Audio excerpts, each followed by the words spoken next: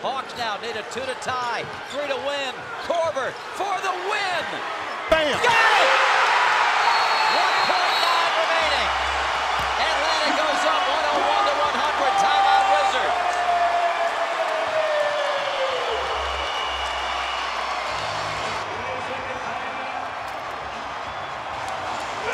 One hundred oh one to 100 Hawks. Kyle Korver. What a shooter.